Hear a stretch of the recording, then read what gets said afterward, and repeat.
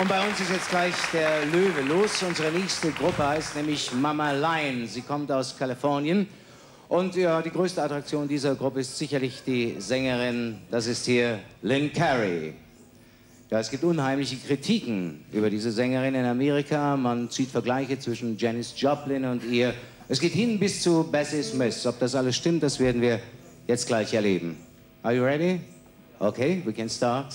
Das ist Mama Lion mit Candyman. Thank you.